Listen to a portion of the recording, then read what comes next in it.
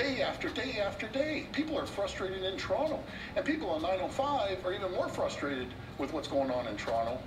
We knew that a big decision was coming down today from the judge ruling on whether Doug Ford's cut to council was legal or not. When we're preparing for a story like that, you do have to kind of prepare for everything. There's no way to predict how a judge is going to rule. So in doing that, we prepared two stories, essentially background that we knew about what had been argued, and then we had to write two different leads one where the judge struck down this legislation and one where he didn't. That also involves preparing different breaking news alerts, different tweets, and I came early to work this morning to make sure I was prepared for either eventuality. When we got the decision, then I was able to put the right lead and the right headline and send out the right tweet and then keep going. Read the decision, gather more information, call people for reaction, and that's kind of the very basic way that you cover a breaking news story of this magnitude.